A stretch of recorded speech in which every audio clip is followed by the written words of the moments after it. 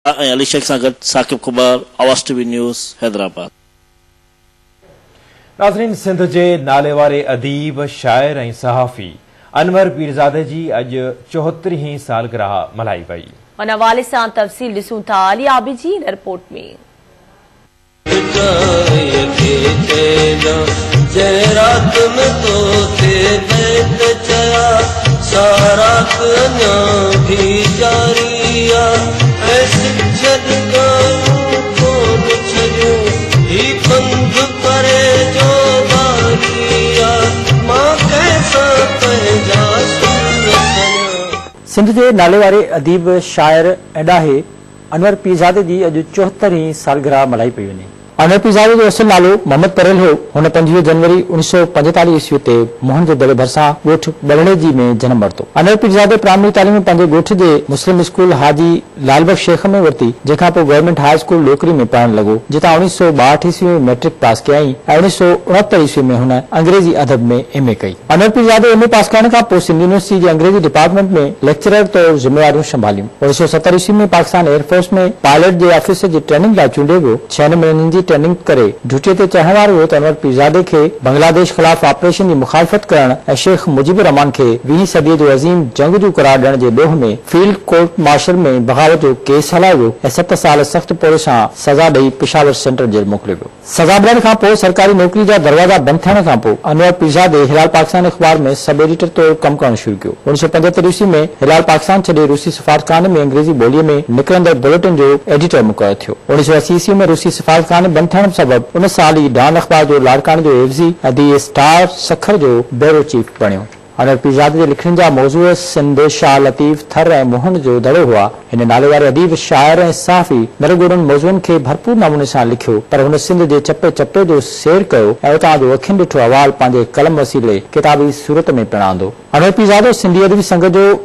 सरगर्म कारकुन उहिदेदार बि रहियो ऐं हुन सिंधी अदबी संगत खे सरगर्म करण में भरपूर किरदार अदा कयो अमर पिज़ाजो कहाणीकार बि हो मुंहिंजी शायरी खां मुतासिर थी शायरी बि कई हुन केतिरनि किताबनि जा सिंधी ऐं अंग्रेज़ी में तर्जमा कया जिन में तारीख़ मूंखे बेडोही करार ॾींदी ऐं शाह लतीफ़ जे रिसाले जो समाजी मक़सद अहम आहे अनर पिज़ाज जे छपल किताबनि में ए चंड भिटाईअ खे चइजां मथां विसारो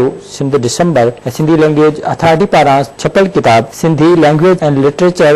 ब्रीफ अकाउंट शामिल सिंधी अदब शायरी ऐं धरती जाओ सत जनवरी ॿ हज़ार सत ईस्वी ते कैंसर जी बीमारी सां छेड़ींदे साहनि जा सॻा टुटण ई फानी जहान छॾे वियो संदसिजी में आहे